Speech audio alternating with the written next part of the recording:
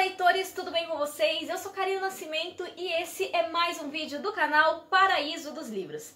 Se você é novo por aqui, seja muito bem-vindo. Eu espero que você tenha uma excelente experiência com esse vídeo e para você não perder nada, já se inscreve, deixa o like que ajuda muito, muito mesmo no crescimento desse canal. E no vídeo de hoje eu farei a resenha do quadrinho de Jujito Gyo.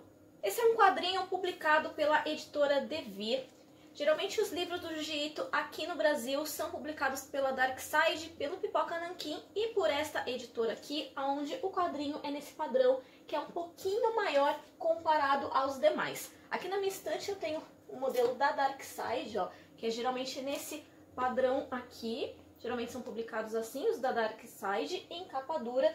E os do Pipoca Nankin são publicados dessa forma aqui, que é um padrão um pouquinho menor com essa padronização, geralmente aqui na lombada, também contendo jacket. Já nesse quadrinho aqui do Jiu-Jitsu, a gente tem o casal, a Kaori e o Tadashi, que eles estão passando as férias na, no sul do Japão, na ilha de Okinawa. E após o mergulho, o Tadashi ele retorna ao barco onde a Kaori está passando mal aparentemente por conta do cheiro da maresia. Porém, ao voltarem para sua locação, a Kaori continua sentindo um cheiro forte que se estende ao longo da noite e o casal descobre que na verdade esse forte cheiro vem de um peixe que estava escondido no local que possui pernas mecânicas. Tudo vira um verdadeiro pesadelo quando outros seres marítimos também aparecem com pernas mecânicas, promovendo o caos em toda a ilha por toda a população e mais tarde em todo o Japão. A Kaori, ela é uma garota bem sensível a cheiros, o que muitas vezes faz ela ser grosseira com seu namorado, que é bem irritante de ler no início da história. Porém, apesar do seu jeito autoritário, o Tadashi, ele faz o possível para ela se sentir melhor, sempre tentando contornar a situação e fazendo o possível para minimizar os incidentes que vão acontecendo. Porém, chega um momento que não há muito para onde fugir.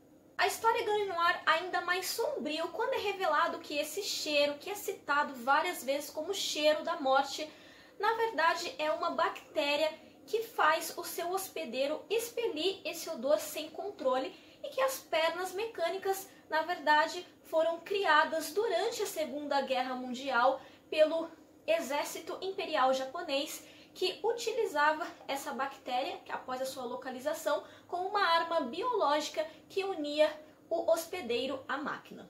E sendo este um projeto ultra secreto e fracassado, tudo indicava que ele ficaria afundado e enterrado no mar, mas alguma coisa alterou este fator, trazendo o terror para os dias atuais. Apesar de Gyo significar peixe em japonês e ser claramente o elemento principal dessa história, o Jiu-Jitsu dá um toque especial, gerando situações inimagináveis que fazem a leitura se tornar fluida e viciante.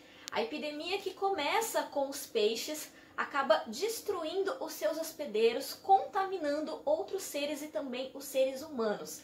Logo, a história acaba virando um verdadeiro conto de aflição e de horror, porque a sensação de que o mundo está acabando se torna presente muito forte na história, gerando uma zona de caos e horror.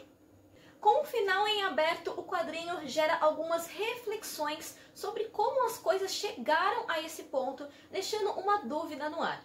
Será que se alguns fatores fossem alterados, as coisas seriam diferentes?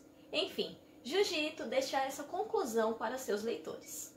E essa edição ainda possui dois contos curtos no seu final que são igualmente impactantes, assim como a história principal, que é a trágica história do pilar principal e a falha de Amigara. Bom, leitores, e essa foi a resenha de hoje.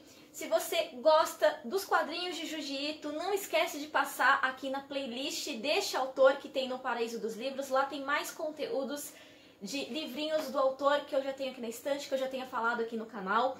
Se você tem alguma indicação de leitura de jiu-jitsu, fica à vontade, pode deixar os seus comentários aqui também. E se você ficou interessado em adquirir essa belezinha aqui. Não esquece de utilizar o link que fica na descrição dos meus vídeos, porque fazendo a sua compra através dele você ajuda o canal a continuar crescendo e o melhor, sem nenhum valor adicional na hora da sua compra. Bom, eu espero que você tenha gostado desse vídeo. Se você curtiu, deixa o joinha, compartilha, se inscreve no canal e ativa o sininho para receber a notificação dos meus próximos vídeos. Um grande beijo e até a próxima!